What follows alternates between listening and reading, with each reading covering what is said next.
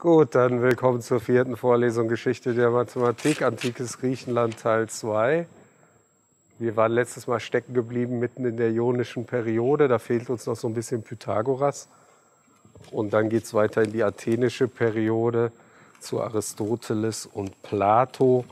Und dann gibt es noch die alexandrinische Periode, unschwer zu erkennen, benannt nach Alexander dem Großen, der dann da ja so ziemlich die Weltherrschaft hatte zu dem Zeitpunkt.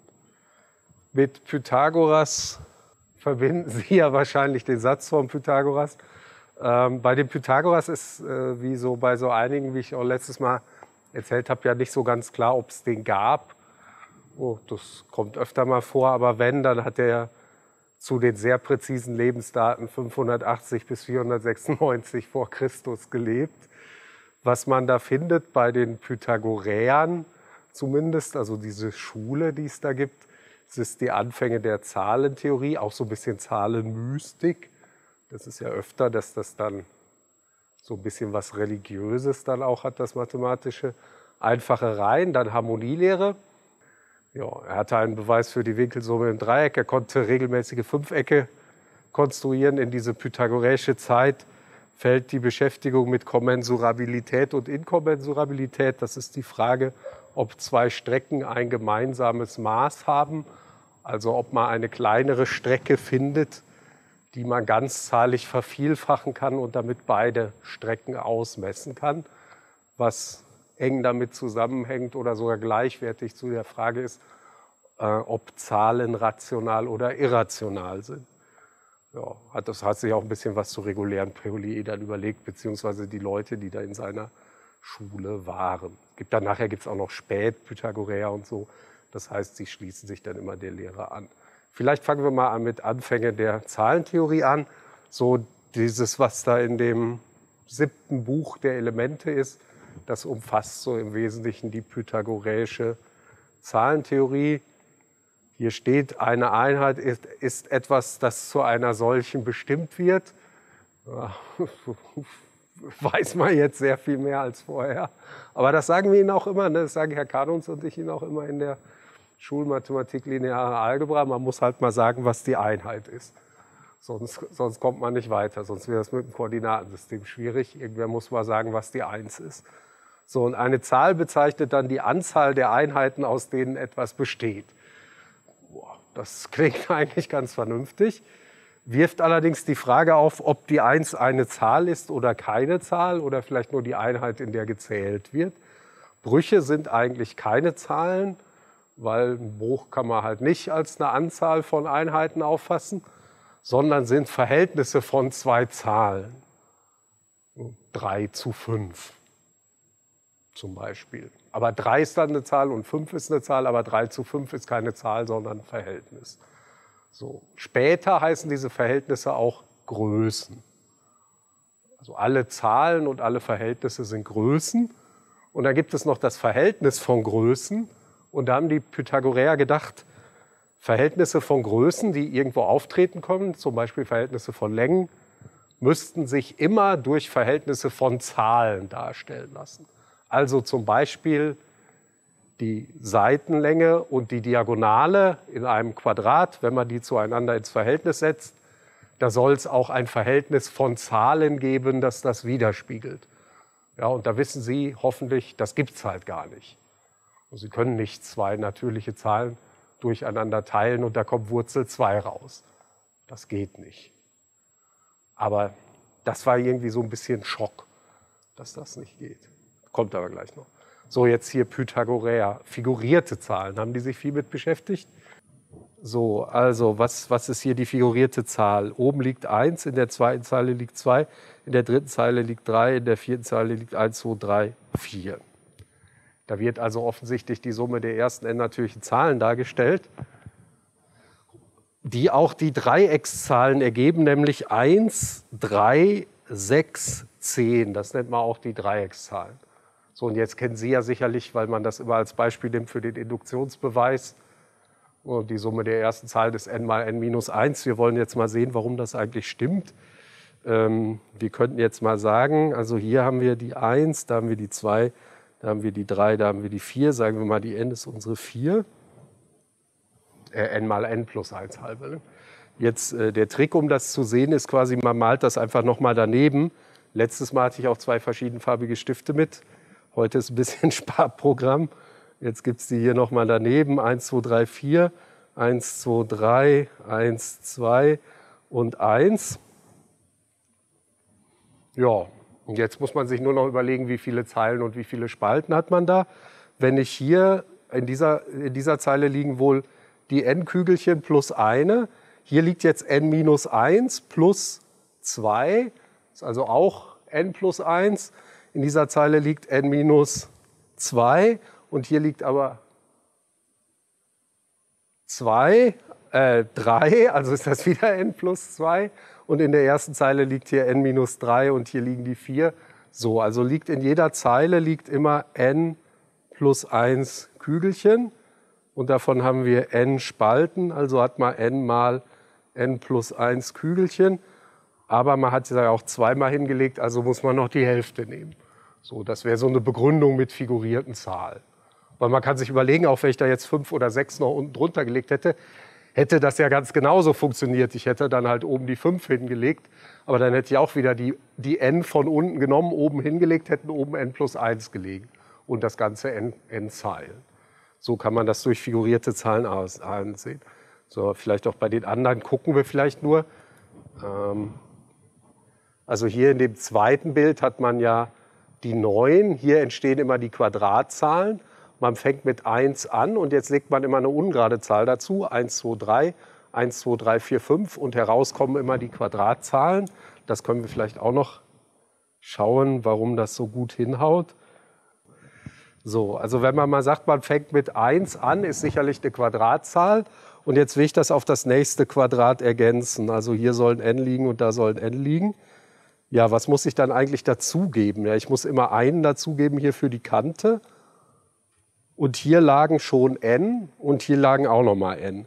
Vielleicht in dem Bild auch nochmal oder ich male hier nochmal neu dazu. Sagen wir mal, unser n war 3. Dann hatte ich ja hier ein Quadrat mit einer Seitenlänge von 3 mal 3. Das ist die Quadratzahl für n gleich 3. Wenn ich jetzt sage, wie entsteht die nächste Quadratzahl? Naja, da kommen wieder die 3 dazu. Auf der einen Seite, also ist das sozusagen n plus 1 in Klammern zum Quadrat ist natürlich das n Quadrat plus hier mal die n plus da oben mal die n plus immer noch da unten den Einser in der Ecke und das ist natürlich n Quadrat plus 2n plus 1. Und 2n plus 1 ist natürlich dann einfach immer die nächste ungerade Zahl. Und wenn Sie jetzt mal scharf hingucken, Sie haben ja auch mal irgendwann binomische Formeln gelernt. Also das ist schon völlig in Ordnung. Wenn Sie n plus 1 Quadrat auflösen, kommt natürlich raus n Quadrat plus 2n plus 1. So, jetzt werde ich hier nochmal eben so, damit ich nachher das besser im Bild habe, so, falls ich noch mal ein bisschen mehr Platz brauche. Ja, und so hat man dann eigentlich gesehen, aha, von einer zur nächsten Quadratzahl komme ich eben mal dazu, dass ich die nächste ungerade Zahl dazu addiere. Also ist die Summe der ersten n ungeraden Zahlen genau die Quadratzahlen. So, und für diese anderen zwei Bilder gibt es halt auch so Geschichten. Die Rechteckszahlen, also jetzt überlegen, was da passiert, das ist 2 plus 4 plus 6 und so weiter. Da kann man auch eine Formel für aufstellen. Und genauso dann für diese komischen Häuserzahlen da oder wie man das nennen soll. So, das ist alles drin in der sogenannten, ich muss gar nicht switchen, sondern eigentlich nur weiterdrücken. Äh, das wäre jetzt normalerweise in der Übung gegeben, die Übung gibt es aber nicht. Ähm, das nennt sich auch die Lehre vom Geraden und Ungeraden. Ich muss gerade mal ein bisschen umswitchen. Mir wird zu warm. So, da steht gerade ist die Zahl, die sich halbieren lässt. Boah, klingt nicht schlecht, ne? Und ungerade die, die sich nicht halbieren lässt, das ist ja fast noch besser, oder die, die sich um eine Einheit von einer geraden Zahl unterscheidet. Ja, das klingt eigentlich sehr vernünftig. Gerade mal gerade ist die Zahl, die sich von einer geraden Zahl nach einer geraden Zahl messen lässt. Das heißt, wenn ich die gerade Zahl teile durch 2, dann kommt wieder eine gerade Zahl raus. Oder durch irgendetwas teile, dann kommt wieder eine gerade Zahl raus. So, gerade mal ungerade ist die, die sich von einer geraden Zahl nach einer ungeraden Zahl messen lässt. Das heißt, wenn ich eine gerade Zahl durch eine gerade Zahl teile, kommt was Ungerades raus. Die wären dann ungerade mal gerade. Zum Beispiel 6 wäre ungerade mal gerade. Und ich 6 durch 2 teile, die haben halt nur einmal den Primfaktor 2.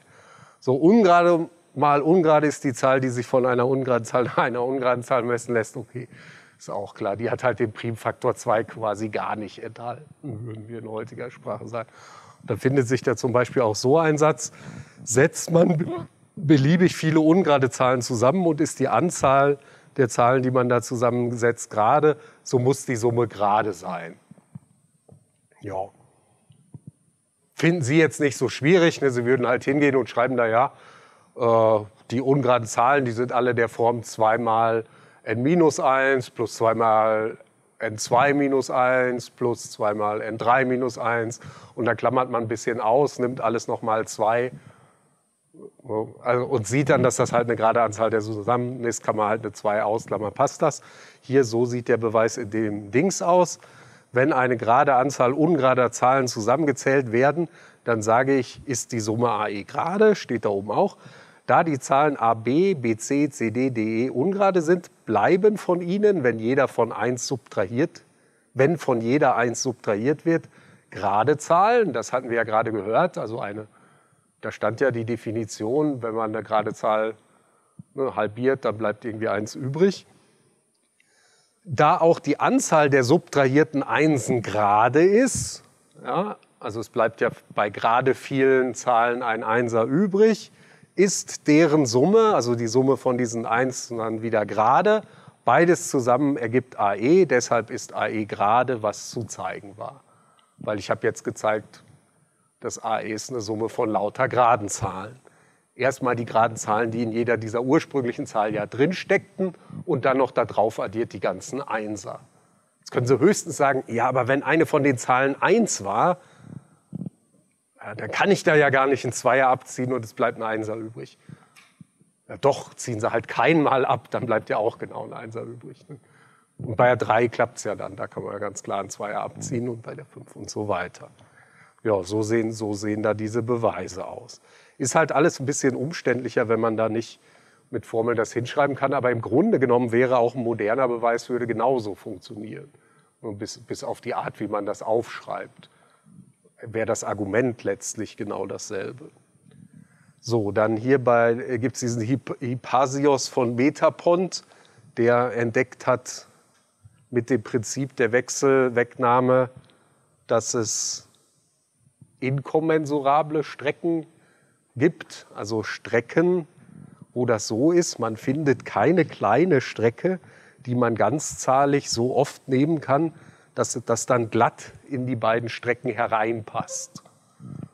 So, das nennt man Inkommensurabilität. Und gemerkt haben soll der das der Legende nach ausgerechnet an diesem Ordenssymbol der Pythagoreer, was dieser, dieses Pentagramm ist. Da soll der gemerkt haben, dass Seite und Diagonale nicht in so einem kommensurablen Verhältnis steht.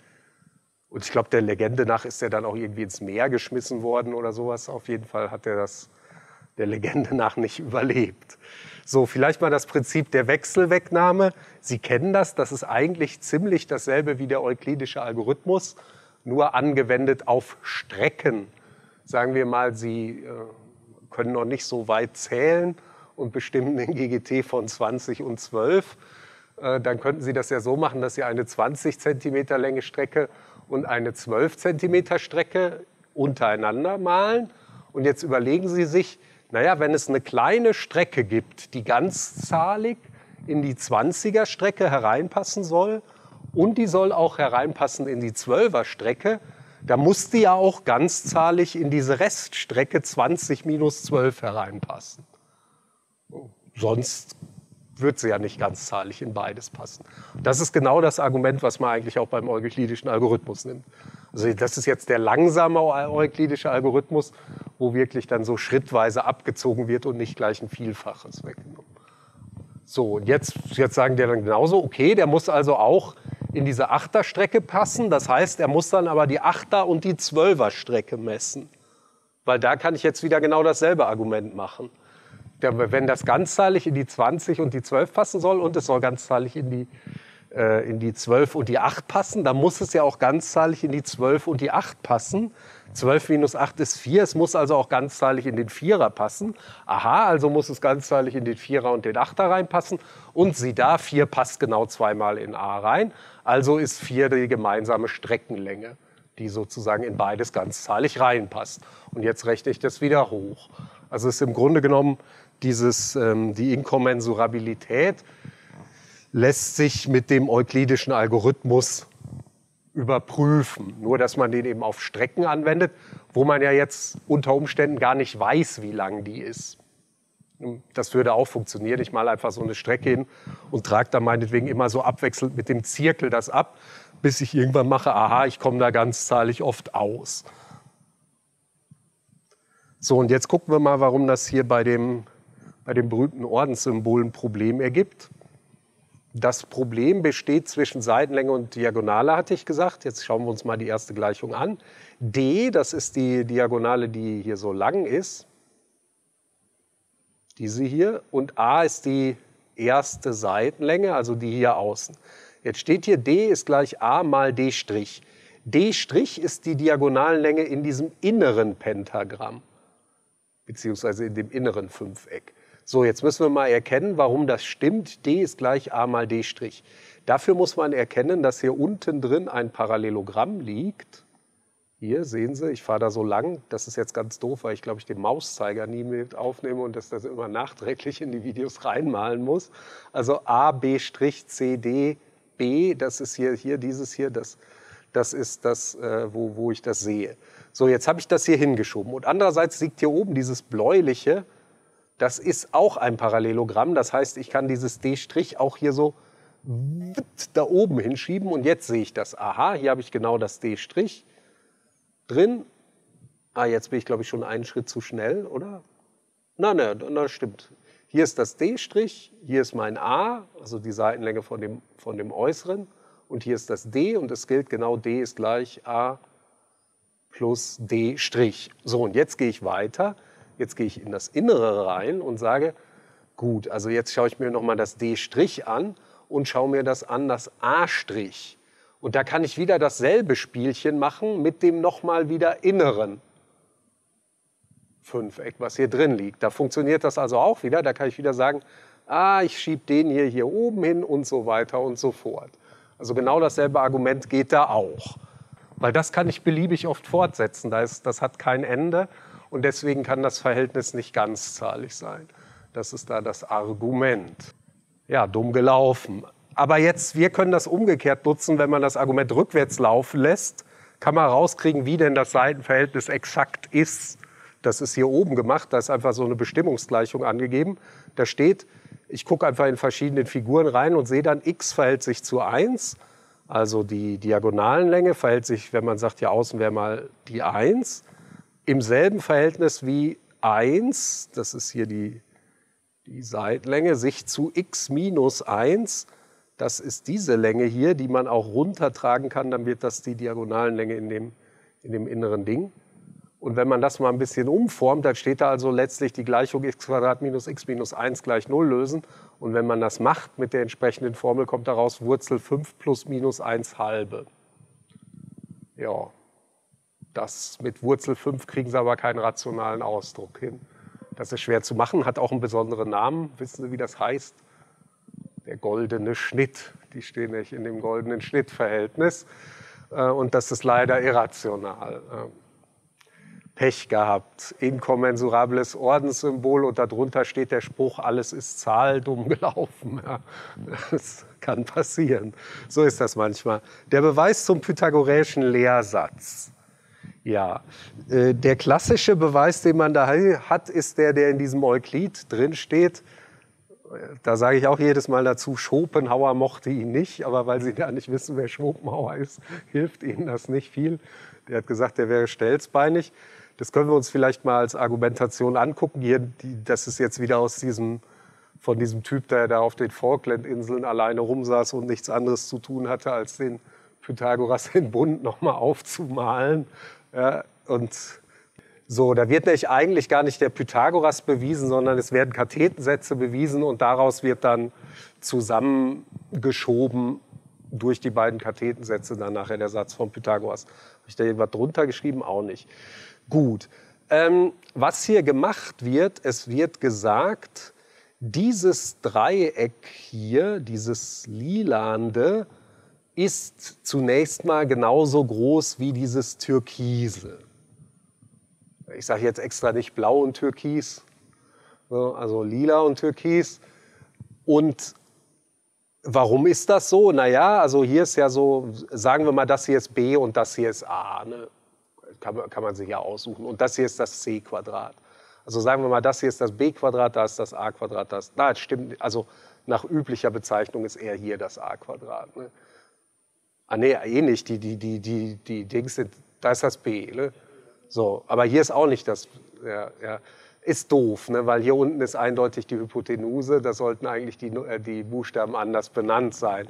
Aber egal. Also dieses Quadrat hier so, also da, da haben wir also diese Seite CK ist genauso lange wie die Seite AC. Das ist offensichtlich so. Ne? Und außerdem ist das auch so, dass BC, äh, ja genau, dass dieses BC ist genauso lang wie das CE. Und jetzt müssen wir noch kurz überlegen, warum die beiden Dreiecke auch denselben Winkel haben. Ja, weil einfach hier ist ein 90-Grad-Winkel, das ist ja ein Quadrat. Und hier unten ist auch ein 90-Grad-Winkel, ist ja ein Quadrat. Und dann kommt bei beiden noch dieser Teil innerhalb des Dreiecks dazu, der ist natürlich auch gleich groß. Also ist auch der Winkel dazwischen. Und damit sind die beiden Dreiecke jetzt kongruent nach Seite, Winkel, Seite. So, und jetzt kommt das Argument, ich zeichne eine Parallele zu der Strecke EC durch den Punkt A. Dann weiß ich, dass alle Dreiecke, die auf die hier diesen Punkt, den, den dritten Eckpunkt auf dieser Verbindungsstrecke AL haben, die haben alle denselben Flächeninhalt.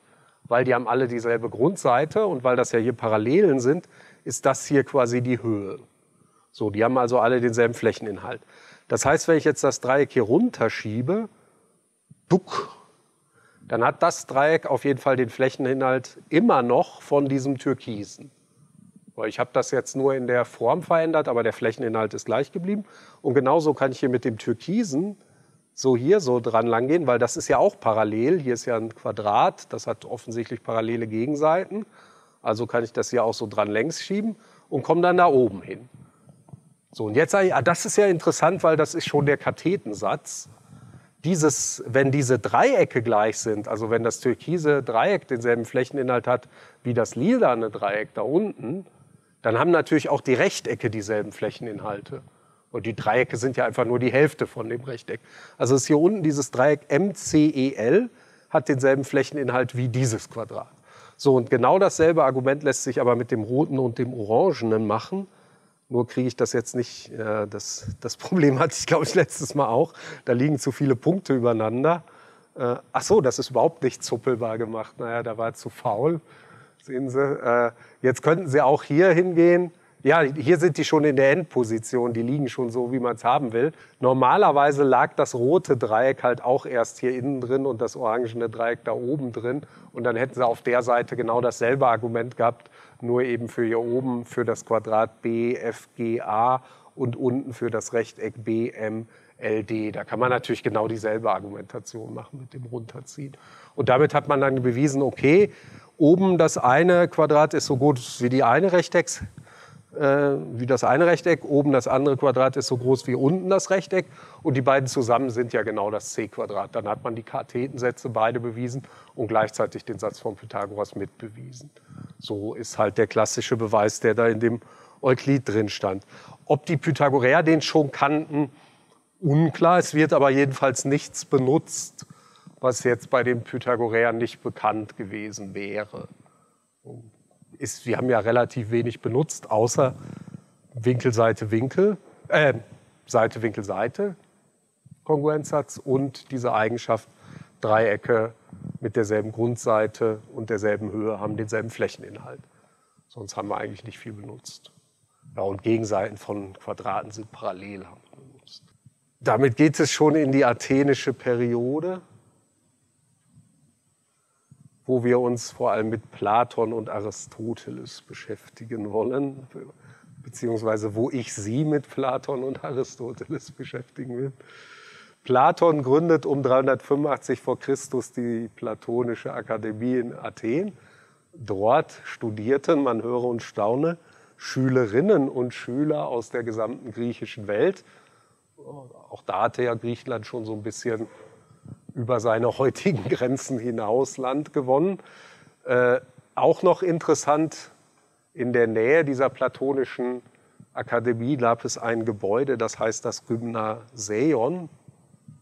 Das war einerseits eine Sportstätte, andererseits haben die da aber auch diskutiert. Und da gibt es ja auch dieses hier gesunder Körper, gesunder Geist Zeug später auch noch bei den Römern. Und das ist ganz lustig, weil quasi wir in unserem Sprachgebrauch daraus das Gymnasium als Schulform gemacht haben und in den englischen Sprachgebrauch das Gymnasium aber eher die Sporthalle geworden ist. Das kommt halt von dieser, die einen haben sich halt eher an der einen Verwendung, die anderen an der anderen orientiert.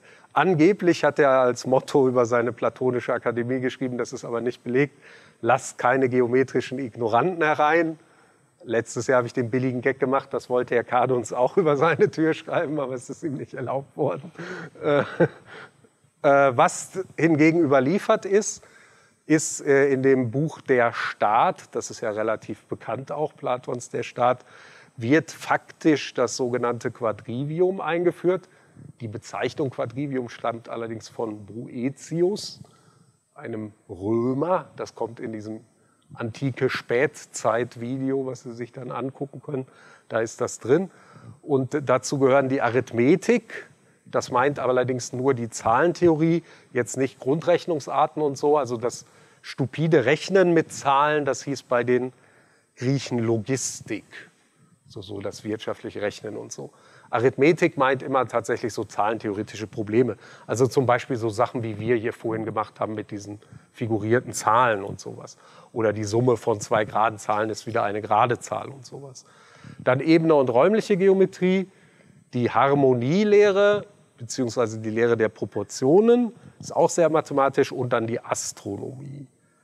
Es gibt bei Platon eine Geringschätzung praktischer Mathematik und die Verbannung so ziemlich aller mechanischer Hilfsvorstellungen und Geräte. Da werden wir nachher sehen, dass das bei Archimedes dann so ein bisschen aufgeweicht wird. Jetzt kann man wieder sagen, Zirkel und Lineal sind ja eigentlich auch Geräte. Ja, aber jetzt gibt es wieder dieses erstmal, Zirkel und Lineal sind auch die einzigen Geräte, die sozusagen dann in dieser euklidischen Geometrie, die sich ja sehr stark an diesen platonischen Idealen orientiert, zugelassen sind. Und das sind eben auch zwei mit so, mit so Art minimalen Eigenschaften. Also das eine heißt eigentlich nur, ich kann eine gerade Linie ziehen. Das andere heißt, ich kann irgendwie äh, eine Linie mit bestehender, also ich kann um einen Punkt eine Linie ziehen, die immer gleich weit entfernt ist. Außerdem geht es auch nie darum, äh, ob das mit realen Geräten möglich ist. Also da, da kann man nie als Argument bringen, ja, aber die zwei Punkte, die kann ich ja gar nicht mit dem Lineal verbinden, weil mein Lineal ist nur 32 Zentimeter lang wie so ein typisches Schullegat. Da geht es ja immer um gedachte ideale Objekte. Also würde das mit einem beliebig langen Lineal funktionieren. Und das Lineal hat auch keine Skala und so. Und dann aber so Hilfsvorrichtungen und sowas. Beim Archimedes gibt es zum Beispiel einen Beweis, dass das Kugelvolumen, äh, Halbkugelvolumen gleich einem bestimmten Zylinder, äh, einem bestimmten Kegelvolumen sein muss, abgezogen von einem Zylindervolumen. Und das wird argumentiert dadurch, dass gesagt wird, wenn man die so an gewissen Hebeln aufhängt, dann müssen die aus bestimmten Gründen im Gleichgewicht sein, die Hebel. So, das das wäre halt so total unplatonisch so zu argumentieren. Ja, dann ist Platonismus die Bezeichnung für eine spätere philosophische Position, die an Platons Ideenlehre angelehnt ist. Und man kann ganz grob sagen, das ist die Vorstellung, dass es abstrakte oder ideale Objekte gibt in irgendeinem Sinne, die auch unabhängig von uns existieren. Zum Beispiel der Herr Dörfler ist kein großer Platonist, sagt nein, also die, die Dinge, die abstrakten Dinge existieren halt nur in unserer Vorstellung und damit eben nicht unabhängig von uns man kann, man kann so, und das macht große Unterschiede. In einem Fall kann man Mathematik entdecken, die ist schon da und wird halt nur entdeckt. Und in dem anderen Fall muss man Mathematik erfinden, wo es sie noch gar nicht gibt. Aber das erzählt dann nächstes Semester, macht der neue Kollege Kolosche, die Philosophie der Mathematik. So, was, äh, was noch interessant ist, vielleicht eher so aus didaktischen Gründen, ist äh, in der Staat, warum ist die Mathematik eigentlich wichtig für den Platon? Ähm, so, da, da hat der Platon so einen fiktiven Dialog zwischen Sokrates und Glaukon aufgeschrieben. Das heißt, glaube ich, auch das Höhlengleichnis oder so. So, und dann sagt dieser Glaukon, die Rechen- und Zahlenlehre hat es zur Gänze mit den Zahlen zu tun. Dann sagt der Sokrates, gewiss. Der Glaukon, die, diese Fächer führen also zur Wahrheit im reichsten Maße, sagt der Sokrates. Also gehören sie zu den Wissenschaften, die wir suchen. Der Kriegsmann muss sie wegen der Truppenabteilung lernen. Der Philosoph, weil er aus der Welt des Werdens heraustauchen, die Welt des Seins erfassen muss. Andernfalls wird er niemals ein recht wirklicher Rechner. So, und jetzt geht es noch etwas weiter. Sokrates, das muss man, mein Glaukon, dann muss man, mein Glaukon, das Fach gesetzlich verankern und die zukünftigen Träger der höchsten Staatsgewalt dazu bringen, Mathematik zu studieren, aber nicht nur nach Art eines Praktikers, sondern so lange, bis sie durch reines Denken zur Schau des Wesens der Zahlen vordringen, nicht wegen eines Verkaufes oder Kaufes, wie es Händler und Kaufleute machen, sondern wegen des Krieges und wegen der Seele, damit sie sich leicht vom Werden zur Wahrheit und Wesen wenden. So, was man da sagen kann, und das äh, ist auch eine Vorstellung, die dann bei den Neuhumanisten, also diesen Leuten im 19. Jahrhundert, die dann so die, die ganzen antiken Sachen wieder ausgebuddelt haben, unter anderem Wilhelm von Humboldt, ja sehr populär war, dass man die Mathematik quasi nicht lernen soll, weil man damit was anfangen kann praktisch, das würde man utilitaristisch nennen, sondern weil man damit so seine Denkkräfte als solche schult und sich ein Stück der Menschlichkeit des Menschen aneignet. Und das ist quasi schon verwurzelt beim Platon. Also zwei Dinge sind da besonders. Erstmal, der möchte Philosophen als Könige haben. Das will ja auch noch nicht jeder. Also die Politiker sollen da die besonders gescheiten Leute sein. Das kann man ja auch anders sehen. Äh, und das Zweite ist, besonders gescheit wird man durch Mathematik. Das hat sich als Gerücht sehr lange gehalten. Ist ja heute auch noch so, wenn einem gar nichts einfällt, warum die Kinder Mathematik lernen sollen. Man immer, ja, ja, das schult irgendwie so das Denken. Und diese Vorstellung kommt halt quasi schon von Platon her. Und Sie werden in diesem äh, bereits fertiggestellten Video zu, zur griechisch-römischen Spätzeit sehen, dass die Römer das nicht fanden. Also die Römer haben gesagt, na, man kann auch zu viel Mathematik lernen, das, das stört dann eigentlich nur. Das ist schon wichtig, dass man so ein bisschen was vermessen kann und so, aber danach wird das eigentlich irgendwann zu viel. Das, da, da gibt es so viele schöne Sachen, die man lernen kann. Warum soll das dann unbedingt Mathematik sein? Das ist, so, das ist dann so, ich glaube, so steht das bei Seneca. Ja, also da ist doch eine deutlich andere Position. So, jetzt zu Aristoteles. Das ist ja so der, der Einstein seiner Zeit in gewisser Weise, so Rockstar der Mathematik zu der Zeit, Schüler von Plato und nach dem Tod von Plato war der Hauslehrer von Alexander dem Großen. Sie sehen, jetzt kommen wir schon so ans Ende der athenischen Zeit. Der hat auch eine Schule gegründet, die hieß Lyzeum. Und Lyzeum heißt zum Beispiel in Frankreich das Gymnasium. Und hier gibt es das, glaube ich, auch manchmal. Dass so einige Schulen, die so ein bisschen besonders toll sein wollen, die nennen sich dann ganz gerne Lyzeum. So, und äh, für die Mathematik ist jetzt der Aristoteles irgendwie eher wichtig. Ah, jetzt habe ich das gerade falsch gesagt, das mit dem Rockstar und so, das gilt ich verwechsel, ich verwechsel jedes Mal Aristoteles und Archimedes. Das ist total peinlich. Das muss ich nachher dann noch wieder umschneiden. Da kommt das hinten alles schön beim Archimedes. Na, bei Aristoteles ist eigentlich nur wichtig wegen der aristotelischen Logik. Also das ist jetzt quasi die, hier wird quasi die logische Grundlage gelegt für das, wie dann, wie dann im Euklid und wie eigentlich seit Euklid auch durchgängig immer argumentiert worden ist. Und da sind auch genau die Sachen drin, die man jetzt entweder am Anfang von Analysis 1 oder lineare Algebra 1 oder halt in elementarer diskrete Mathematik so über Beweisverfahren lernt, so die, die Schlussformen. Die stammen halt aus der sogenannten aristotelischen Logik. Super viel muss ich da nicht zu erzählen, weil das ziemlich sicher dann auch in Philosophie der Mathematik nochmal wieder aufgegriffen wird. Äh, insbesondere geht es um Syllogismen. Hier ist das eigentlich etwas zu allgemein beschrieben. Hier steht zunächst mal, was ein vernünftiges Argument ist. Ein vernünftiges Argument ist ein Argument, in welchem sich, wenn etwas gesetzt wurde, etwas anderes als das Gesetzte mit Notwendigkeit durch das Gesetzte ergibt. Ja, klingt verdammt schwierig.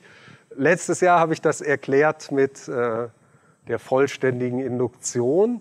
Da sagt man ja auch, also bei diesem Induktionsschritt, nehmen wir mal an, die Aussage ist für ein bestimmtes n richtig. Jetzt zeigen wir, dann gilt auch immer die Aussage danach. Da zeigen wir quasi, wenn etwas Gesetztes gilt, dann können wir zeigen, dass etwas anderes dann auch richtig ist. Und jetzt müssen wir natürlich noch irgendwie zeigen, dass das Gesetzte selber auch gilt. Dafür dient dann normalerweise der Induktionsanfang. Beziehungsweise kann man sich überlegen, dass so ein Schließen natürlich nicht beliebt, also ein Henne-Ei-Problem kriegt. Ich kann sagen, ah, das Gesetzte beweisen wir jetzt auch wieder, dadurch, dass wir etwas anderes Gesetztes als wahr einnehmen und dann zeigen, das Gesetzte ist aber dann hier eine Folge von dem Gesetzten. Aber das kann man ja nicht, also kann man schon beliebig oft machen. Das führt nie an ein Ende. Und deswegen braucht man am Anfang immer irgendwas Gesetztes, bei dem man mal anfängt. Also aus nichts kann man quasi nicht argumentieren. Äh, und das sind ja die berühmten Axiome, wie wir heute sagen, beziehungsweise bei Aristoteles gibt es halt noch die Unterscheidung zwischen Postulate und Axiome. Der Unterschied ist hier, die Axiome sind universell als wahrgesetzte Aussagen und die Postulate sind wahrgesetzte Aussagen einer bestimmten Wissenschaft. Das deckt sich auch ganz gut mit der Verwendung in den euklidischen Elementen. Da sind nämlich die Axiome, diese Sachen wie äh, wenn das eine dem anderen gleich ist und das andere dem dritten, dann ist auch das dritte dem ersten gleich, die quasi nichts mit Geometrie zu tun haben, sondern für die gesamte Mathematik oder allgemein denknotwendig sind. Und die Postulate sind dann Dinge wie, ähm, es ist möglich, von jedem Punkt aus zu jedem anderen Punkt aus eine gerade Linie zu zeichnen, die eben Aussagen der spezifischen Wissenschaft sind. So, diese Unterscheidung gibt es jetzt nicht mehr. Ne? Sie haben ja auch die Axiome von einem Vektorraum. Die, die würden eigentlich im Sinne von Aristoteles Postulate heißen. Aber es ist auch klar, wenn man da jetzt mit Vektorräumen sowas rumbeweist, nutzt man auch ständig Aussagen, die man halt einfach allgemein als wahr angenommen hat. Gut, dann gibt es hier noch die Bezeichnung Physik, die ein bisschen was anderes ist, als bei uns Physik wäre. Das ist die die Lehre von den Zahlengrößen und, und Größenverhältnissen. Hier gibt es die Unterscheidung zwischen der Zahl, die Zahl ist immer etwas Diskretes, und der Größe, die ist etwas Kontinuierliches, zum Beispiel so eine hingezeichnete Strecke. Und was auch schon angefangen worden ist, ist zu akzeptieren das sogenannte potenziell Unendliche, aber nicht das aktual Unendliche. So, das ist jetzt eigentlich auch wieder fast eher eine Unterscheidung für die Philosophie der Mathematik. Ähm, man kann sagen, es ist akzeptiert worden, dass man etwas beliebig nähern kann.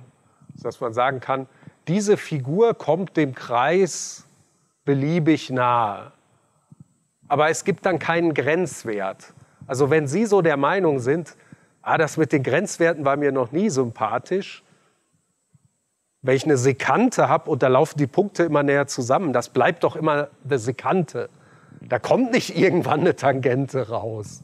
Das geht ja nicht, dann habe ich ja da Null unterm Bruch stehen. Dann sind sie so ungefähr auf der, auf der Ebene zu der Zeit von Aristoteles. Also man hat dieses Ende des Prozesses da nicht mit, mitdenken wollen.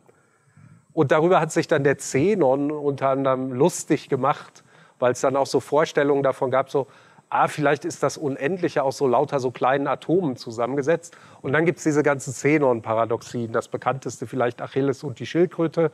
Das habe ich, glaube ich, auch in den Folien drin. Und dann gibt es noch dieses mit dem Pfeil, wo der da zeigt, dass ein Pfeil eigentlich immer runterfallen müsste, weil der ja zu keinem Zeitpunkt eine Geschwindigkeit haben kann, sondern immer nur zwischen zwei Zeitpunkten und so andere Dinge.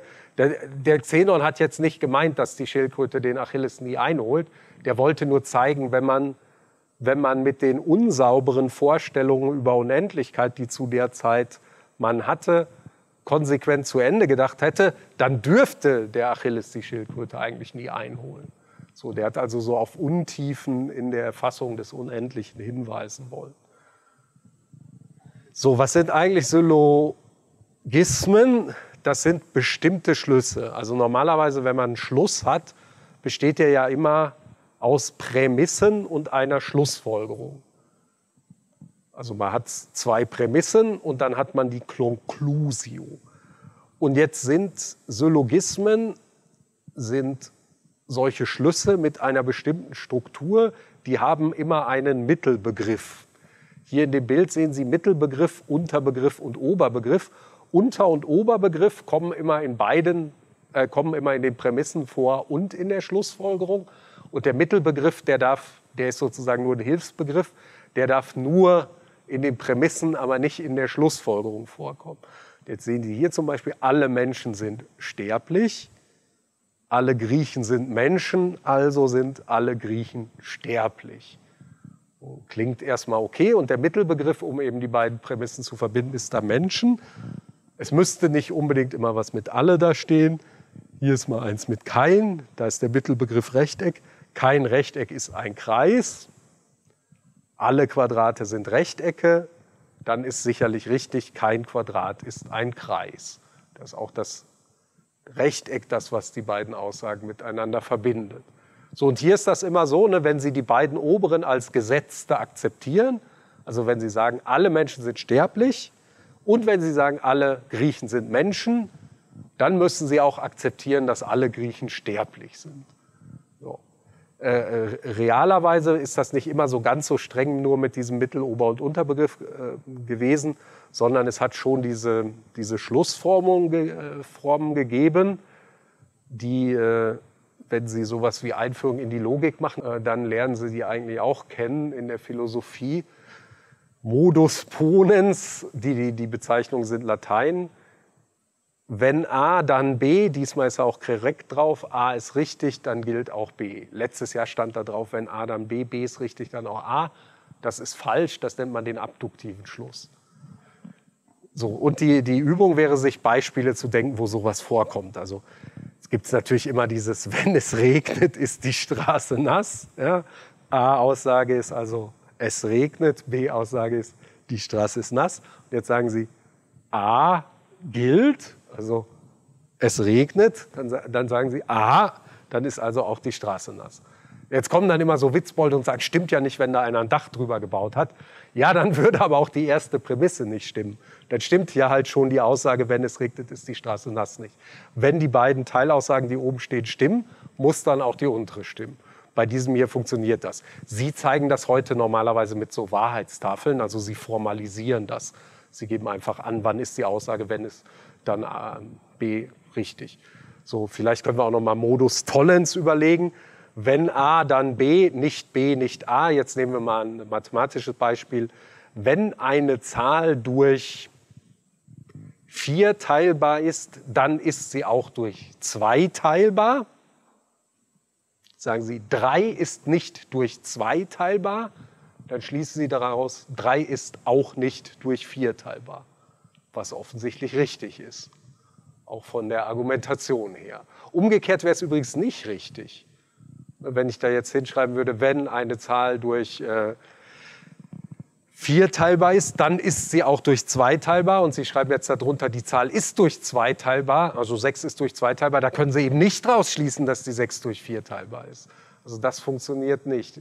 Aus dem äh, Vorliegen von diesem Dann-Teil folgt gar nichts über den Wenn-Teil. Nur aus dem Nicht-Vorliegen von dem fällt was für die Wenn. So, und hier sind noch sie etwas kompliziertere. Das hier ist dann tatsächlich ein Syllogismus. Ne, hier haben Sie diesen Mittelbegriff, wenn A dann B, wenn B dann C, wenn A dann C. Wenn eine Zahl durch 8 teilbar ist, dann ist sie auch durch 4 teilbar. Wenn eine Zahl durch 4 teilbar ist, dann ist sie auch durch 2 teilbar. Wenn eine Zahl durch 8 teilbar ist, dann ist sie auch durch 2 teilbar. Das wäre der klassische Syllogismus, hypothetischer Syllogismus. Hier gibt es noch den disjunktiven Syllogismus. Es gilt A oder B. Ich komme pünktlich oder zu spät. Ich komme nicht pünktlich, also komme ich zu spät. Wobei das ein bisschen gemogelt ist, weil das ein ausschließendes Oder war. Sie könnten sagen, ich, äh, trinke Wasser oder Kaffee. Wenn ich zu Ihnen komme, trinke ich Wasser oder Kaffee. Da dürfte ich ja vielleicht auch beides trinken. Aber wenn ich dann äh, kein Wasser trinke, bin ich gezwungen, Kaffee bei Ihnen zu trinken. Sonst ist die erste Aussage nicht mehr richtig gewesen. Das, das ist der disjunktive Syllogismus. So, hier die berühmte äh, Paradoxie des Xenon. Das wäre jetzt eigentlich der Teil für die Übung gewesen. Ähm, gut, können wir ja mal machen. Also nehmen Sie mal an, Achilles tritt gegen eine Schild. Kennen Sie das? Ja, oder? Nein, na, dann ist es ja wirklich gut. Ja, Herr Pilz, der kennt das natürlich, oder? Nehmen Sie an, der schnelle Achilles tritt gegen eine Schildkröte an. Die Schildkröte hat einen Vorsprung von 500 Metern, aber Achilles läuft 50 Mal so schnell wie die Schildkröte. Die Schildkröte läuft also ein Meter in fünf Sekunden, Achilles läuft 10 Meter pro Sekunde. So, jetzt äh, der Zenon macht das jetzt so. Muss ich gleich dann dazu malen. Die Schildkröte hat einen Vorsprung von 500 Metern. So, also 500 Meter Vorsprung. Da ist der Achilles, da ist die Schildkröte. Ich blätter gleich auf. Ich muss mir eben die Geschwindigkeit noch aufschreiben. Achilles läuft 50 mal, 50 mal Schildkröte und die Schildkröte läuft einen Meter pro Sekunde. Nur ist der Dings ja ganz schön flott unterwegs. Äh, pro fünf Sekunden. Ich wollte schon sagen, sonst wäre der ja recht flott unterwegs. Und der Dings zehnmal so schnell. 50 Meter pro Sekunde. Nicht schlecht, der Achilles. Leicht unrealistische Zahlen. So haut's hin, ne? so läuft er 10 Meter pro Sekunde. Ist immer noch relativ flott. 10 Meter pro Sekunde. Dann kann ich die Dings vielleicht auch gleich umschreiben. Die läuft also 0,2 Meter pro Sekunde. Ne? So, das schreibe ich nur gerade hier rüber. Das auch. So, jetzt, jetzt gucken wir nicht mal hin. 500 äh, Meter hat die Vorsprung. So, jetzt macht der Achilles das, ach, der, der Xenon das so und sagt, naja, also wir gucken mal nach, wann ist eigentlich der Achilles da, wo die Schildkröte war. So, also 500 Meter, der Achilles läuft 10 äh, Meter pro Sekunde. Also ist der da nach 10 Sekunden. 10 Sekunden hat der Achilles 500. So. Jetzt ist die Frage, wo ist denn die Schildkröte da? Ja, die Schildkröte ist ja jetzt 10 mal 0,2 gelaufen. Also 5. 10 Meter 50 Sekunden. Ja, ja, ja. 50 Sekunden, dann ist er bei 500. So, okay, 50 Sekunden. Wie weit ist jetzt die Schildkröte gelaufen? 50 Sekunden geteilt durch 5 Sekunden sind 10, 20. Nein. 10 Meter. Okay, 10 Meter. Also die ist jetzt bei 510. Okay, das, die, die Schildkröte ist bei 510 nach 50 Sekunden. Okay, jetzt gucken wir weiter. Wann, hat der Achilles, wann ist denn der Achilles hier? Bei 510. Nach wie vielen Sekunden?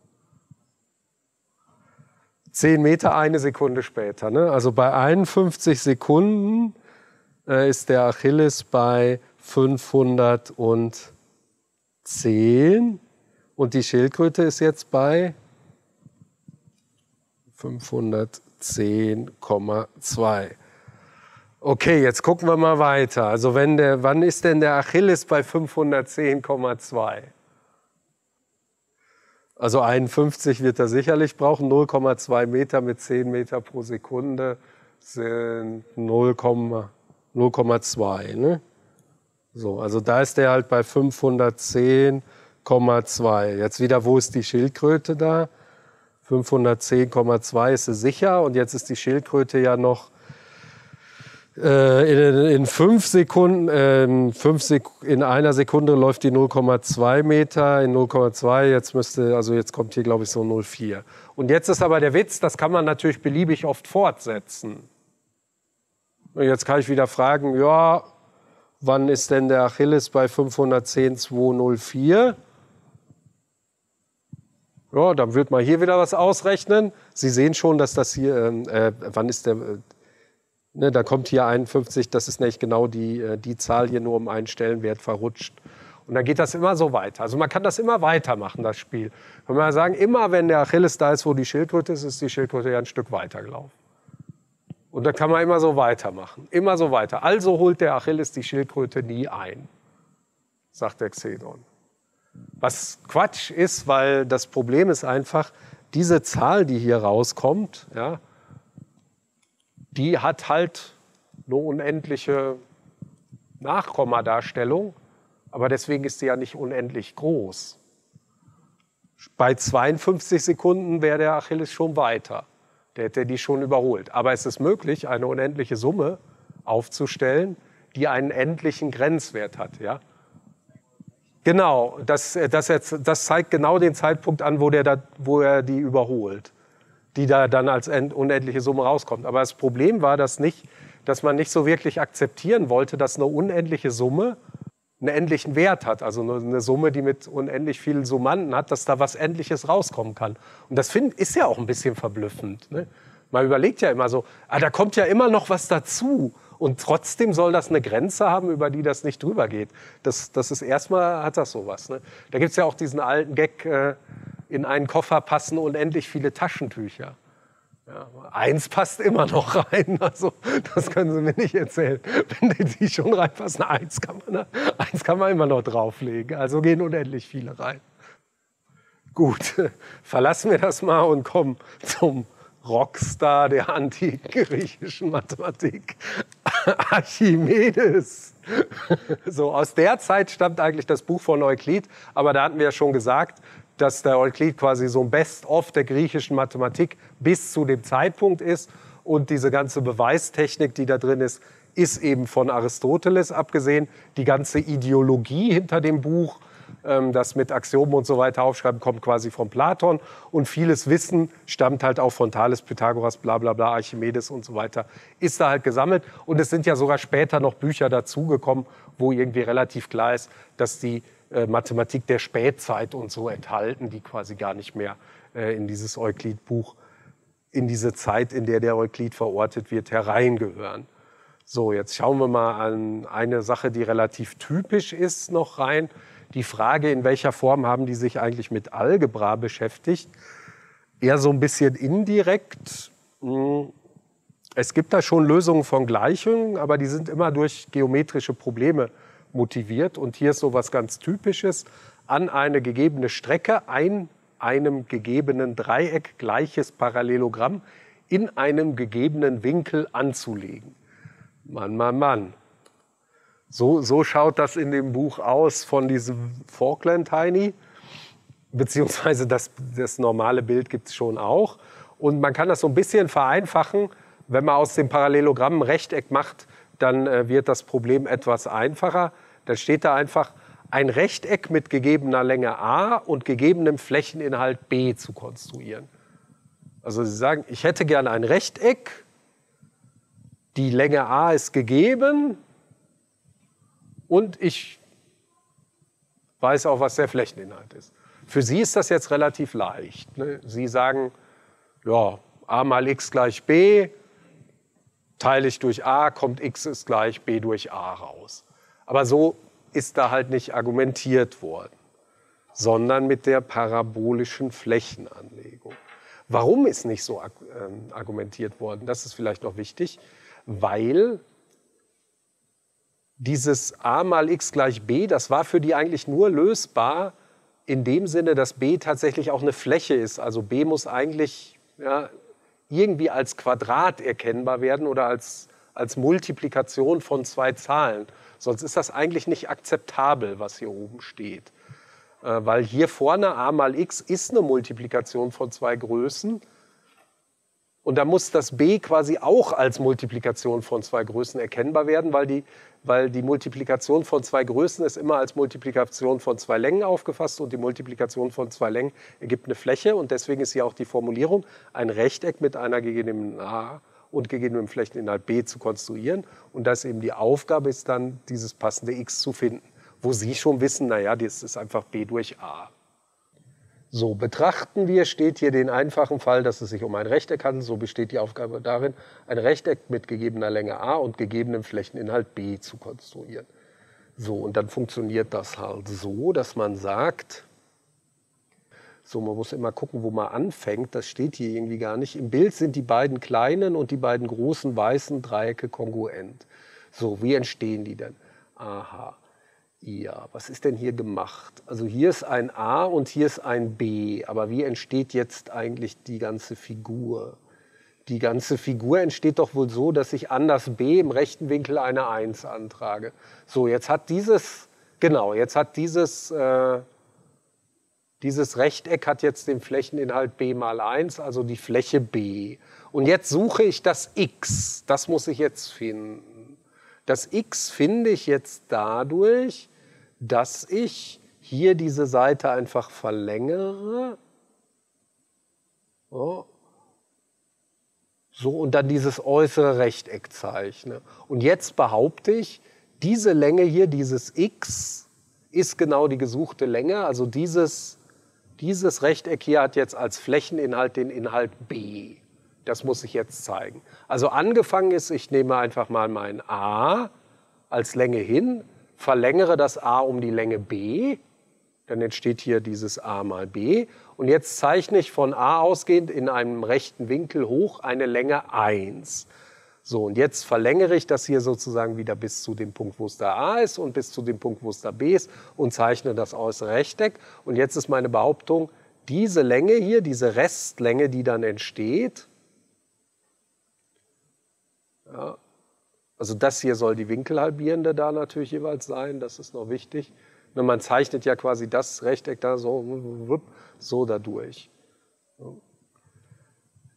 Ja, warum? Weil hier dieses Dreieck und dieses Dreieck sind kongruent und dieses Dreieck und dieses Dreieck sind konkurrent, weil das da ja jeweils die Winkelhalbierende ist. Ne? Also die weißen Dreiecke sind jeweils flächengleich, kongruent und flächengleich. Und das große Dreieck, was hier außenrum ist, ist natürlich auch flächengleich mit dem großen Dreieck, was da außen flächengleich ist. Also sind auch die beiden Differenzflächen flächengleich. Das ist die Argumentation. Also nochmal, Sie fangen an, Sie nehmen das a, Sie verlängern das a um b. So, jetzt gehen Sie eins nach oben und dann zeichnen Sie außenrum ein Rechteck. Und die Länge, die dann unten da übrig bleibt, ja, das ist genau die x-Länge. Genau, wie weit gehen Sie nach unten? Das ist ja noch gar nicht klar. Das erzeugt man durch die Winkelhalbierende. Ne? Also ist eigentlich der Konstruktionsgang so. Ich fange mit dem a an, ich verlängere das ums b, ich gehe eins nach oben, ich gehe hier eins nach oben. So, jetzt habe ich hier schon mal alles. Die ganzen Längen sind auch bekannt. Jetzt habe ich aber erstmal eigentlich nur hier oben das Gedöns. Ne? Also hier unten habe ich noch nichts, ich habe nur hier oben das Rechteck. Und jetzt gehe ich halt hin und sage, zeichne hier die Diagonale, verlängere die und dort, wo sich diese Diagonale mit der Verlängerung von der Seite trifft, da mach einen Punkt, gehe hier rüber und dann kannst du hier die Länge x ablesen. Also ist das tatsächlich konstruierbar. Das hatte ich am Anfang noch gar nicht nachgewiesen, wo da diese Länge herkommt. Das ist aber machbar. So, und hier ist genau dasselbe Argument geführt, nur ist das hier noch alles schief. Das ist ein Parallelogramm, da funktioniert das aber im Prinzip ganz gleich. So, mit Archimedes ist der Höhepunkt der antiken Mathematik erreicht, zumindest nach, wenn man nachher im Bussing und Erhalten geht. Der hat wirklich sehr viel gemacht, Astronomie, Hydrostatik, Mechanik, Technik, gilt als tiefgründig origineller Denker, schreiben Bussing und Alten, äh, und als Begründer der mathematischen Physik besonders beliebt bei Schülern und gilt als deutlich weniger dogmatisch als Plato, hat also einen ganz pragmatischen Ansatz, welche Hilfsmittel zulässig sind. Als wichtige Einzelleistungen gelten die Winkeldreiteilung mit dem rutschenden Lineal, die schauen wir uns auch gleich noch an. Die ist auch, glaube ich, in zwei von drei Prüfungsterminen vorgekommen. Kommt also dieses Jahr sicher nicht mehr vor. Nein, ein Scherz, weiß ich nicht. Könnte durchaus wieder vorkommen. Äh, die Bestimmung der Kreisfläche, die Zurückführung des Kugelvolumens auf das Zylindervolumen und die Quadratur eines bestimmten Parabelsegments und die Grenzwerte von bestimmten geometrischen Reihen. Gut, machen wir vielleicht erstmal hier das rutschige Lineal. Hm, die Konstruktion, wir hatten, ich hatte Ihnen letztes Mal erzählt, es gibt gewisse Probleme, die sind mit Zirkel und Lineal nicht lösbar. Wenn man sagt mit Zirkel und Lineal, dann meint Zirkel immer nur ein Instrument zum Zeichnen von Kreisen oder zum Abtragen von Abständen. Und auf einem Lineal ist eigentlich auch keine Skala drauf. Also das ist hier gerade nicht so ein Schülerlineal, wie, wie, wie das da gezeichnet ist, sondern das ist einfach nur ein Instrument, wo man zwei Punkte miteinander verbinden kann. Und hier wird jetzt das Lineal so ein bisschen, und damit kann man Winkel nicht in drei Teile teilen, allein mit diesen zwei Instrumenten. Aber mit diesem Trick mit dem rutschenden Lineal. Also das rutschende Lineal führt halt dann nachher auf eine Beweisfigur, in der man dann nachweisen kann, dass das genau ein gedrittelter Winkel ist. Also dann die, die äh, Konstruktion ist schon exakt, die hier passiert, aber sie benutzt eben ein Hilfsmittel, was nicht erlaubt ist, nämlich das Erste, was ich mal mache, ist, also ich sage einfach mal, ich nehme den Punkt A, ich zeichne mit einem bestimmten Radius um diesen Punkt A einen Kreis. So, jetzt trage ich den Winkel, den ich dritteln will, irgendwie ab an, A, an dieser Strecke und erhalte den Punkt B. Der liegt irgendwie auf dem Kreis. Gleichzeitig sagt er, leg das Lineal mal hier an das A dran und mal da so einen Fleck drauf, äh, der genau die Länge angibt. Also es wird jetzt eine Markierung auf dem Lineal angebracht. Und ab jetzt ist das nicht mehr euklidisch. Weil das, auf dem Lineal vom Euklid kann man nicht was draufmalen. Das Lineal vom Euklid ist ein, einfach nur das Axiom, beliebige zwei Punkte der Ebene lassen sich miteinander verbinden.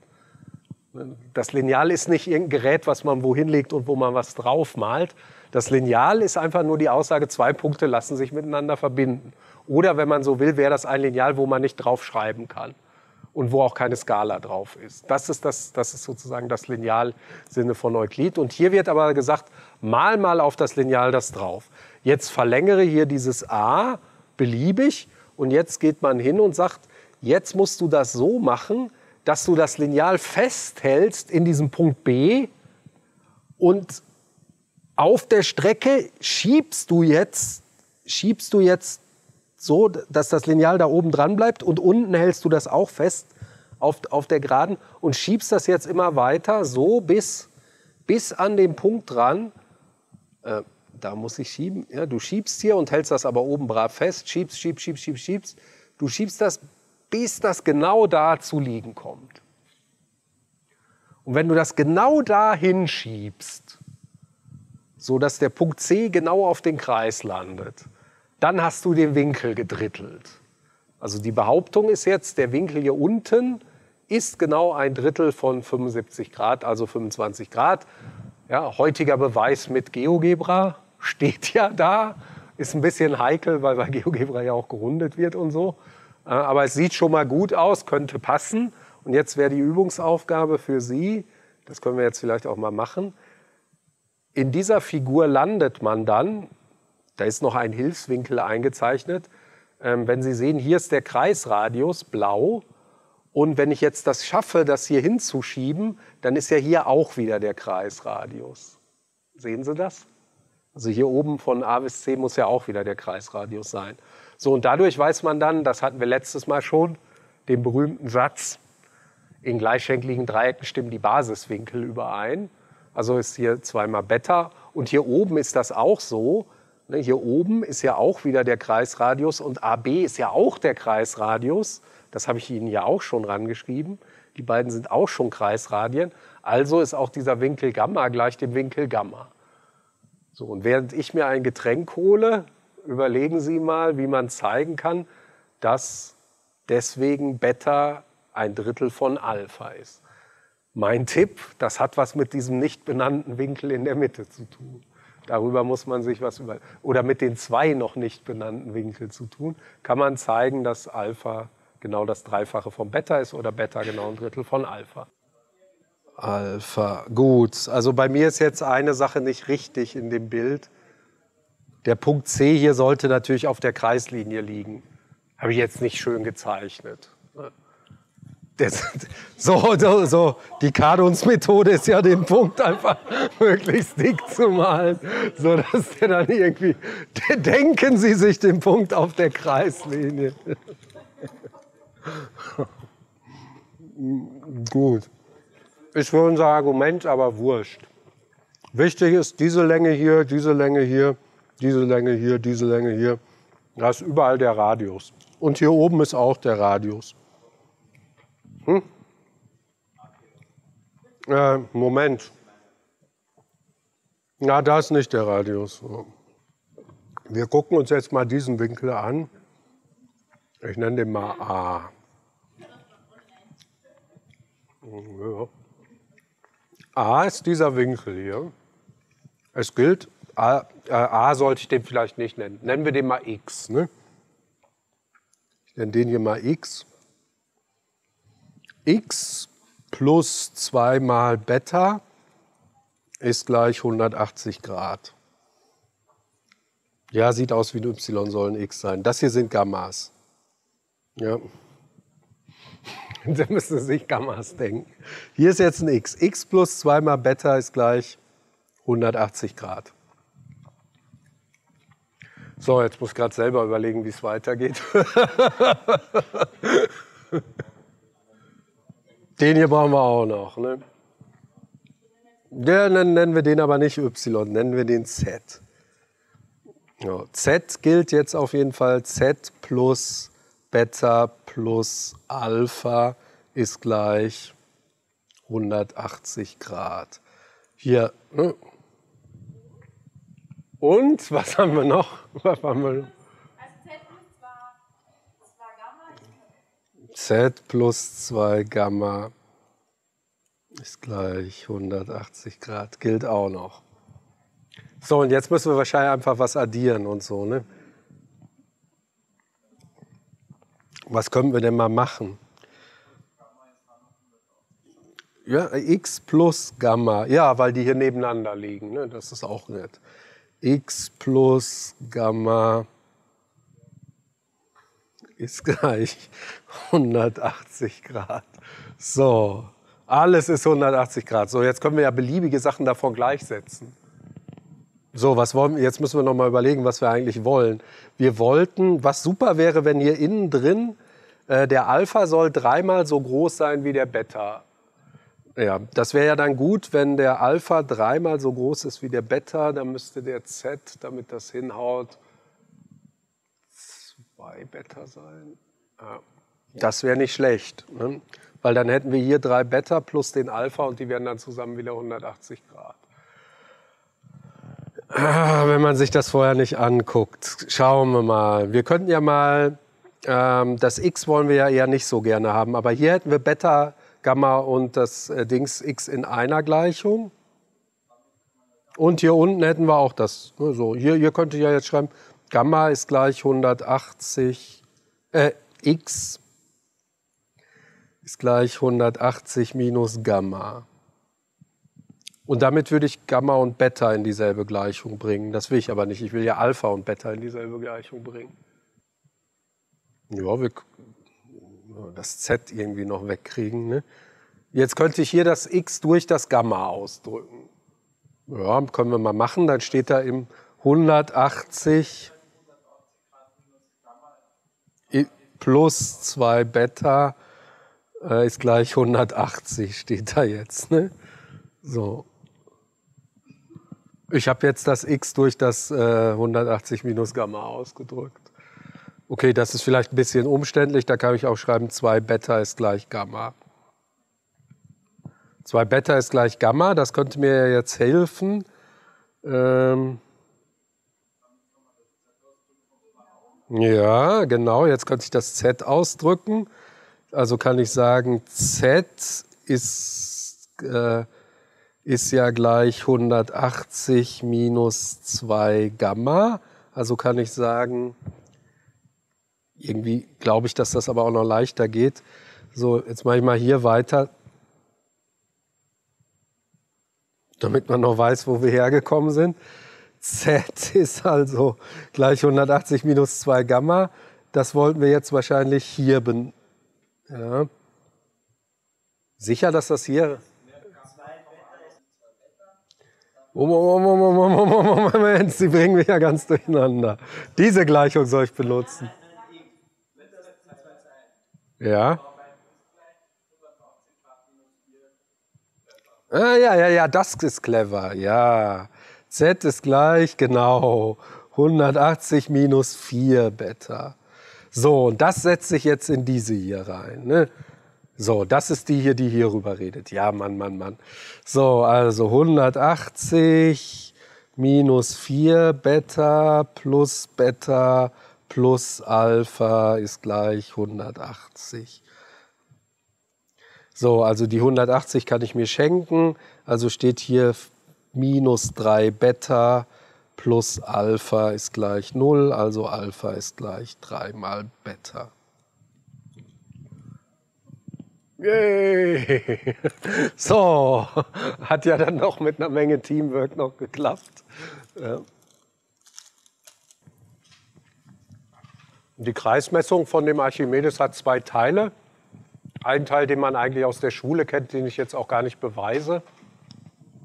Beziehungsweise indirekt beweise ich die Formel allerdings für Winkel und nicht für Längen in dem, in dem Online-Video. Das kennen Sie ja wahrscheinlich. Man fängt da an mit äh, Viereck, da macht man ein Achteck rein, da macht man 16 Eck, dann 32 Eck und damit nähert man den Kreisumfang. Das ist der eine Teil. Der zweite Teil ist, zwei bekannte Sätze miteinander zu verbinden. Nämlich die erste ist ja diese hier, das Verhältnis von Umfang zu Durchmesser in verschiedenen Kreisen ist immer gleich. Das ist die eine Aussage, die steht hier.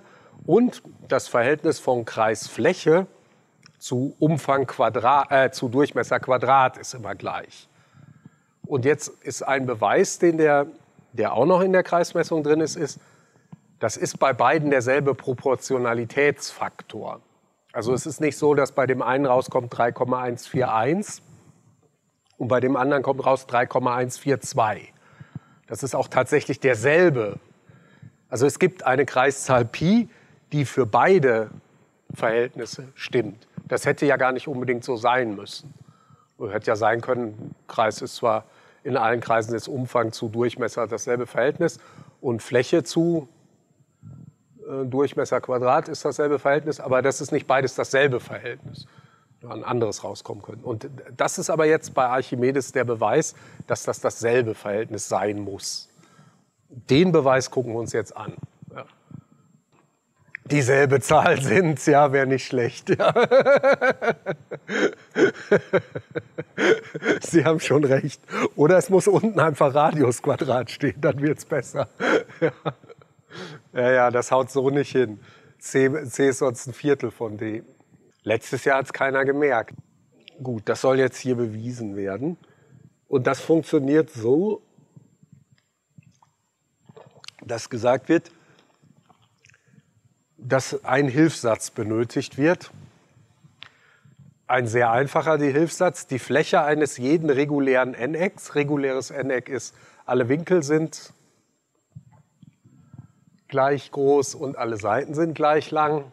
Das nennt man ein reguläres Viereck.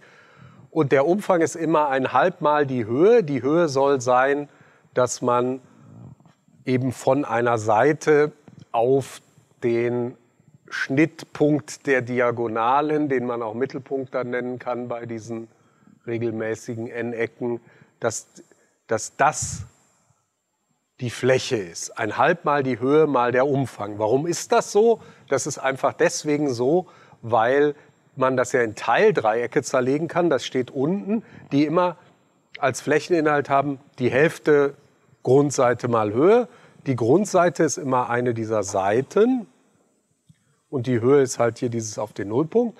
So, jetzt hat dieses hier ein Halbmal und das geht dann so weiter. Und man hat das Ganze eben so oft, wie man Seiten hat.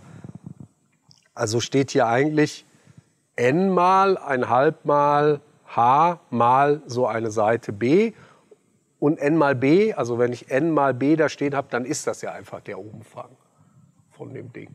Und deswegen steht da gilt ein Halb mal H mal Umfang ist die Fläche eines regulären NX. Das braucht man an irgendeiner Stelle. Und jetzt kommt dieses, was so logisch so etwas äh, finkelig ist, die doppelte Reduktio ad absurdum.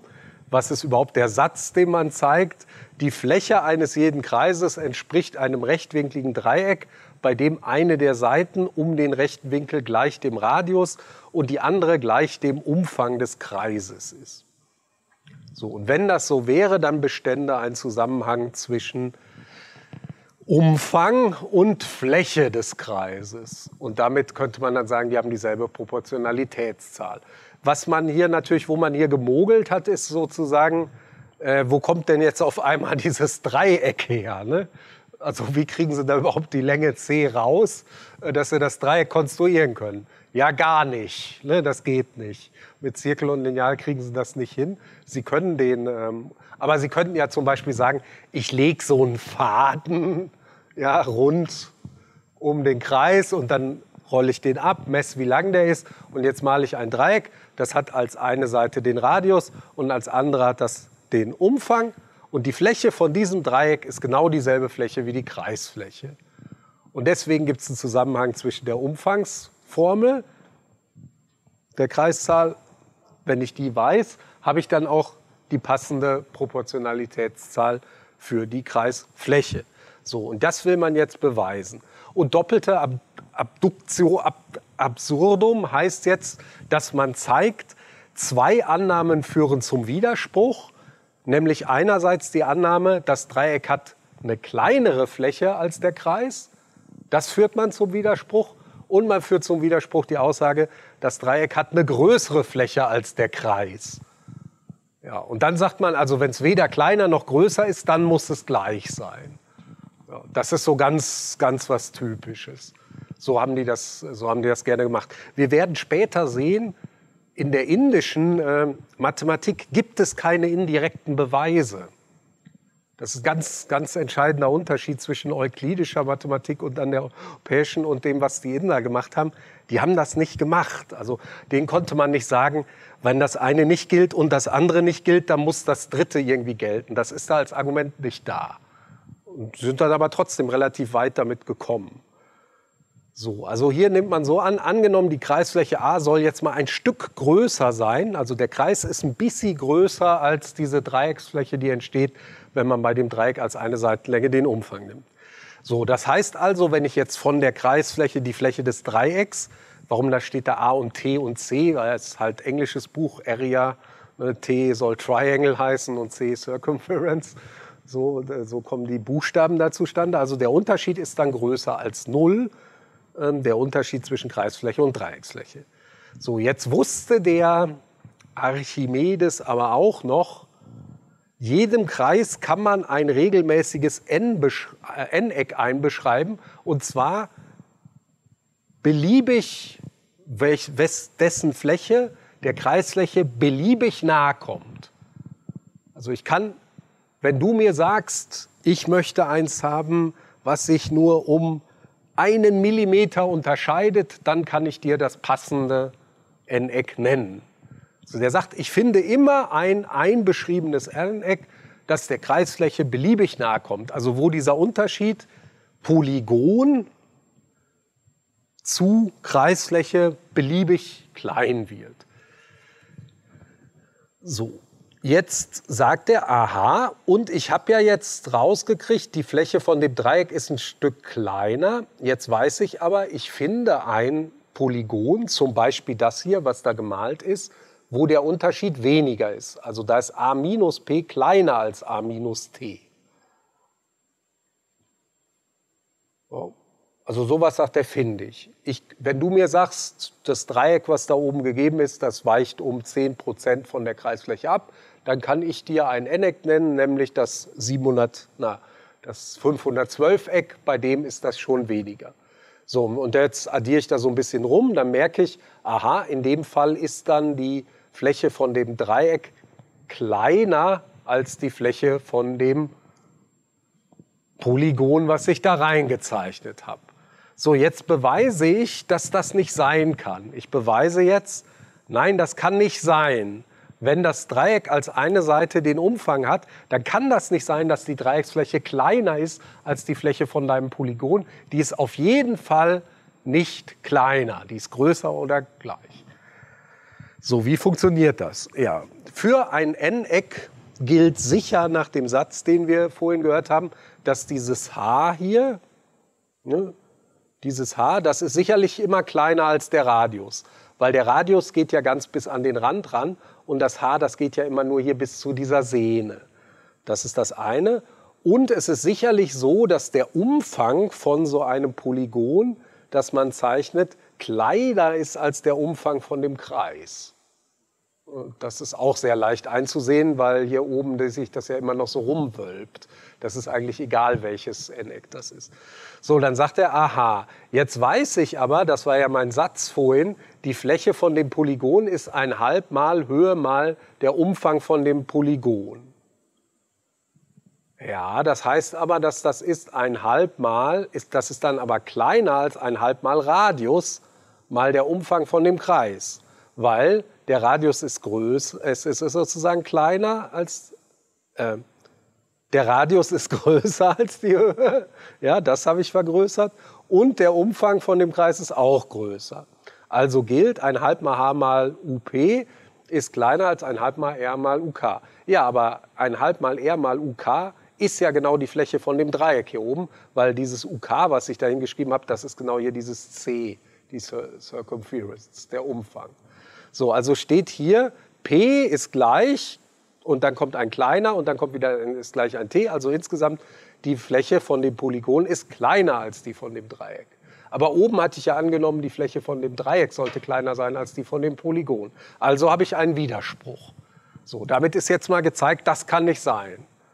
Ne, die, die Kreisfläche kann nicht größer sein als die Fläche von dem Dreieck, ist jetzt gezeigt durch Widerspruchsbeweis, weil dann müsste man immer ein einbeschriebenes Polygon finden, wo die Kreisfläche, äh, wo die Fläche noch größer ist als die von dem Dreieck. Und dann kann man durch Widerspruch zeigen, nein, das kann nicht sein, die muss kleiner sein als die Fläche von dem Dreieck. Und genauso geht das umgekehrt auch, nur geht das dann von außen. Da muss ich ein muss ich das, muss ich das Polygon sozusagen außenrum zeichnen und dann habe ich die ganze Argumentation mit umgekehrten Vorzeichen.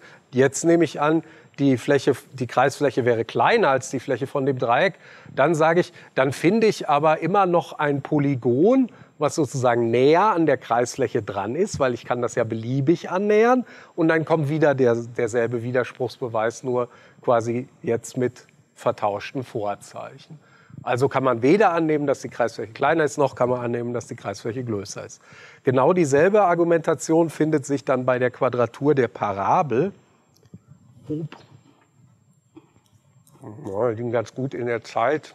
Die Kegelschnitte werden ein bisschen eng, aber da triezt die Herr Kade uns immer schon so mit, dann ist das nicht ganz so tragisch.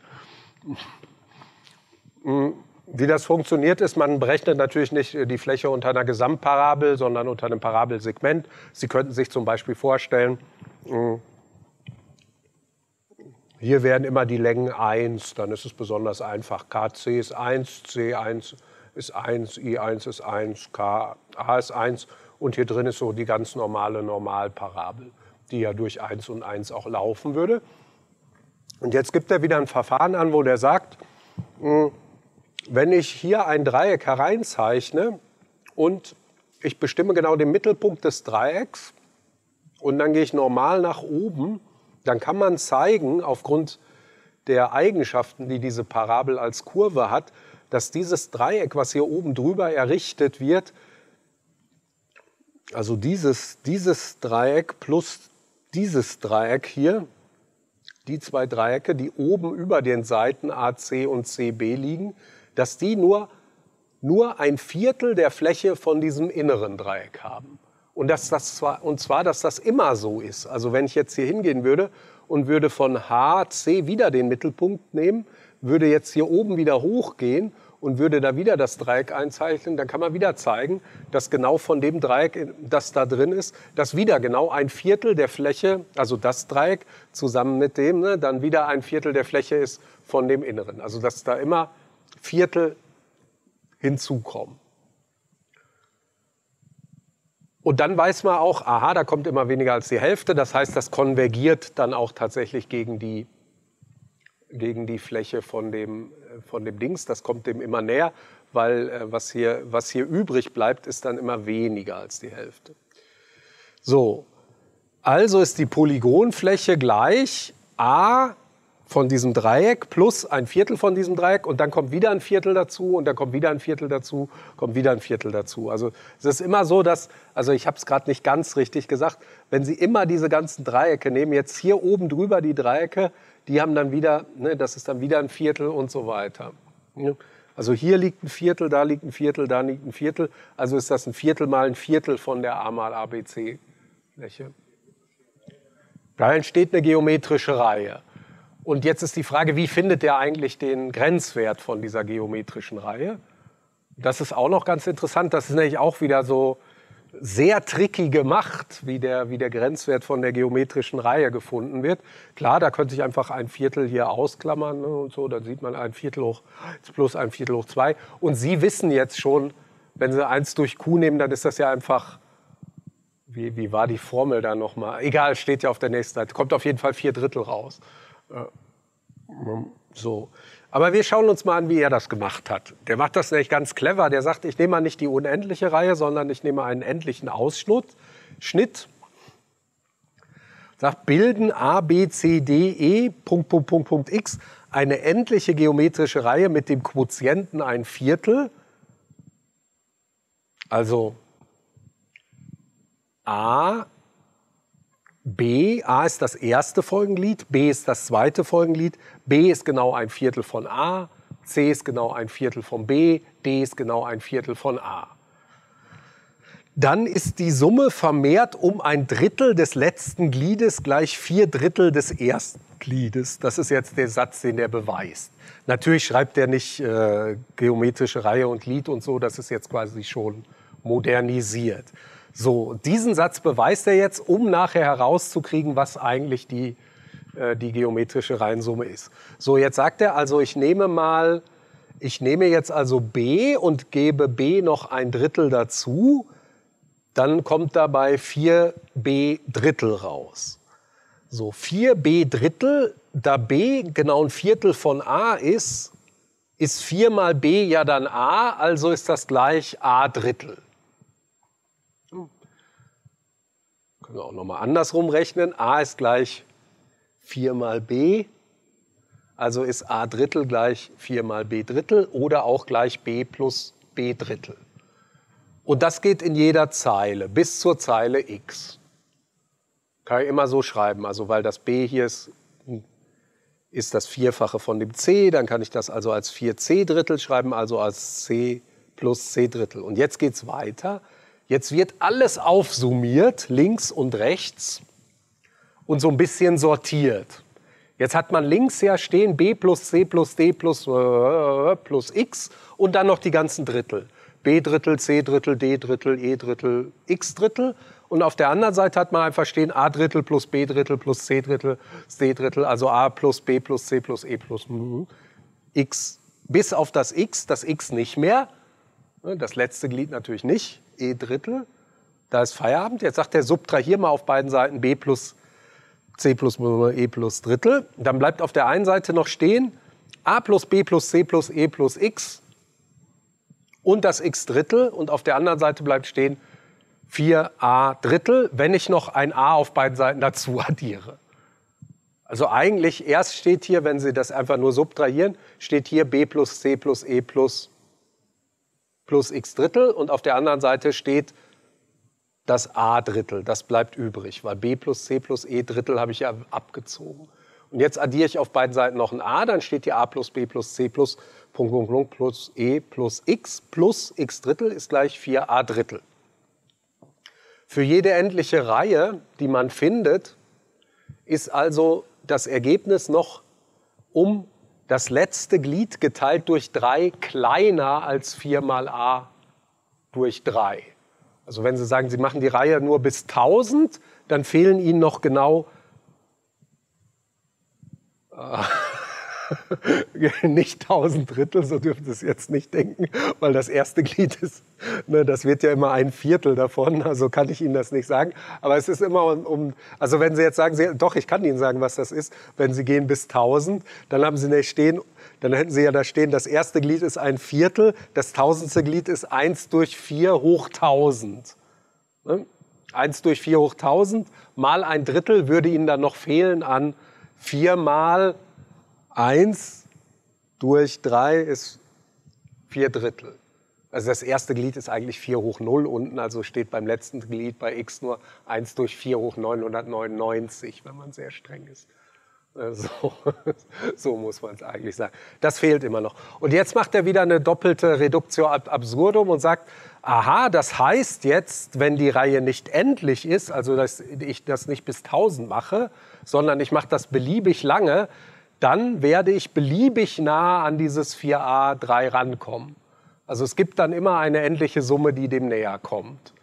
Und, des, und also es kann weder sein, dass diese Summe, die da steht, die endliche Summe, kleiner bleiben muss als das 4a hoch 3, noch kann das sein, dass die das übertrifft an irgendeinem Punkt. Und damit ist gezeigt, wenn die Reihe beliebig lang gemacht werden kann, dann, ist, dann muss sie den Wert 4 mal a Drittel annehmen. Und wenn Sie nachgucken, wenn Sie jetzt wirklich sagen, Sie haben unter der Parabel mit 1 geguckt, dann kommt da auch genau 4 Drittel raus. Also 1 plus ein Viertel plus und so weiter. Und da haben Sie auch mal wahrscheinlich irgendwie so eine Q, äh, wie ist nochmal die Formel, wie so 1 minus Q durch irgendwas, ne?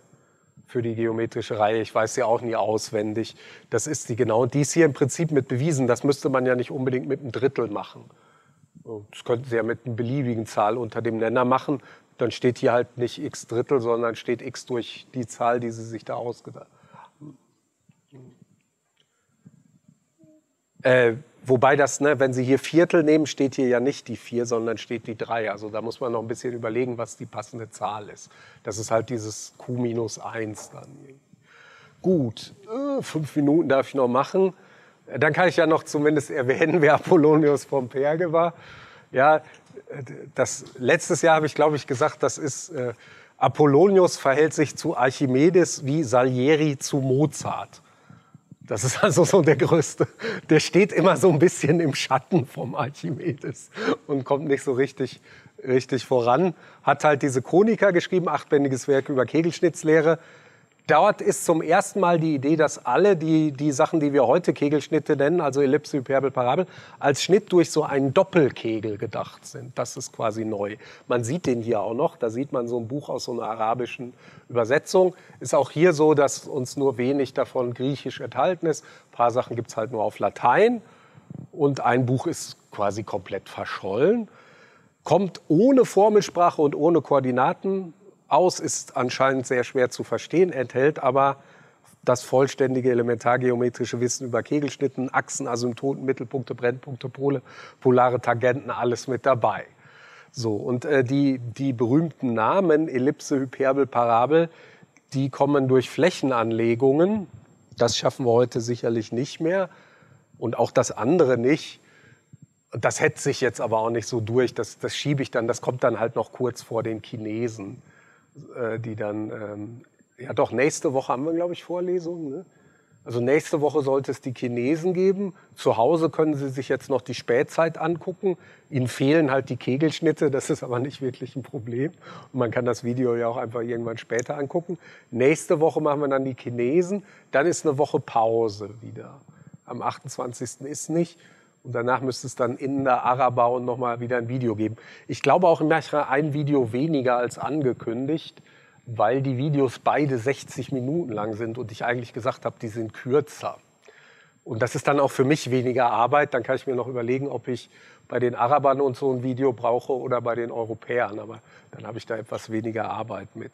Aber nächstes Mal äh, gibt es dann noch die Aufklärung zu den Kegelschnitten und dann geht es weiter mit den Chinesen.